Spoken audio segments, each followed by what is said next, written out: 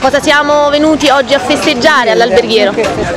oggi abbiamo aperto la nostra scuola al territorio. Già siamo alla terza edizione di questa attività in forma versa e abbiamo associato alla chiusura di tutte le nostre attività, alla chiusura di questo progetto in forma versa, anche la chiusura delle attività previste dai PON realizzati quest'anno. E abbiamo voluto cioè, questo evento qui a scuola da noi, proprio per far conoscere la nostra realtà.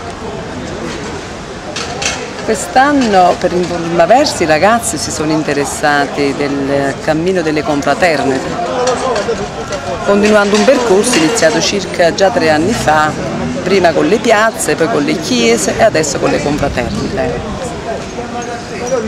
Questa testimonianza che la nostra è una scuola non solo del fare, infatti stessa, lo stesso tema della serata, storia, arte e gastronomia, sta a significare che a fianco, accanto alla preparazione laboratoriale, al fare, qui abbiamo una valida formazione culturale per questi giovani. Quindi oggi ci sarà la presentazione più uno splendido buffet che vediamo qui alle nostre Alla fine, spalle, da infatti, dopo, dopo il- la presentazione dei lavori che i ragazzi faranno per ciò che hanno realizzato nel corso dell'anno ci sarà questo splendido buffet dove tutti potranno assaggiare i prodotti preparati dai nostri ragazzi con la guida dei loro docenti. È diventato quasi un'abitudine ad Aversa, quindi un appuntamento fisso quello che perché qui quasi ci sentiamo adesso in obbligo, in dovere di organizzarlo, perché tutti aspettano la festa dell'alberghiero, l'evento conclusivo dell'alberghiero. E non perché io adesso quest'anno veramente sono particolarmente soddisfatta, anche perché ho visto modo di lavorare, cioè ho visto come tutti hanno partecipato a che questo evento si realizzasse, considerata la struttura, perché noi non è che abbiamo una struttura che idonea per questi eventi, però nonostante ciò c'è stata la collaborazione di tutti, segno del forte senso di appartenenza che il personale ha a questa scuola, iniziando dai ragazzi, per non parlare poi del personale sia i collaboratori scolastici, amministrativi, degli assistenti tecnici, dei docenti tecnico-pratici e non ultimi dei docenti delle varie discipline. Senza la loro collaborazione sicuramente tutto questo non sarebbe stato possibile e questa è per me una grande soddisfazione, veramente. Devo dire grazie soprattutto a loro. Se stasera possiamo vivere questo momento particolare. Queste sono tutte le tecniche che abbiamo utilizzato durante il percorso, questi sono i prodotti dei ragazzi, la poesia visiva, eh, la manipolazione del testo, dal testo di narrativa al fumetto, dal testo di narrativa al testo teatrale, abbiamo manipolato, abbiamo manipolato i due testi, la patente e la giara di Pirandelli. Inoltre abbiamo fatto gli incontri impossibili, il punto di vista e tante altre cose. La poesia visiva però l'ha curata lei, la professoressa Beatrice Leone. Sì, abbiamo cercato di eh, stimolare i ragazzi alla composizione di poesie attraverso eh, esempi di autori e poeti conosciuti ed il risultato è quello appunto che hanno poi rappresentato con il PowerPoint. Benissimo, poi possiamo passare ad altri eh, progetti sviluppati all'interno del nostro istituto come l'alimentazione va in scena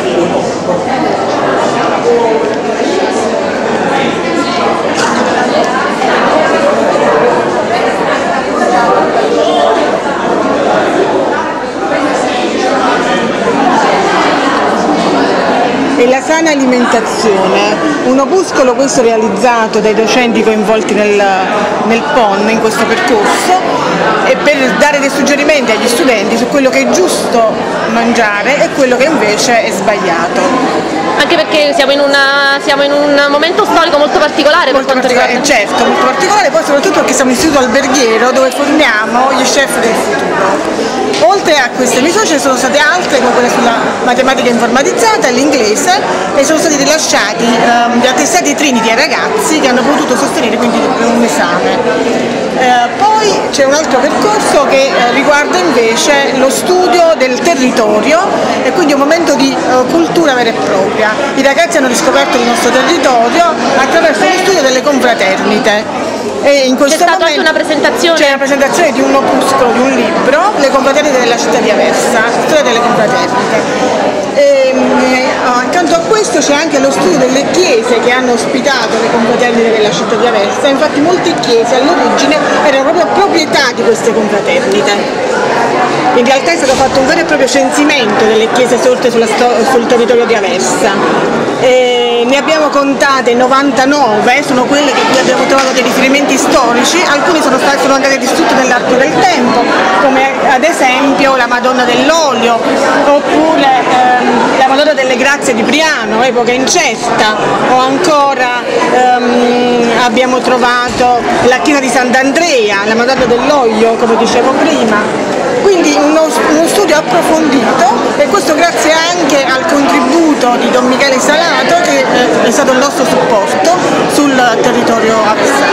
Stasera presentiamo i progetti realizzati nell'ambito dei PON, nella misura FSE 2009-2010, al centro del quale esiste in ruota la creazione dell'impresa virtuale.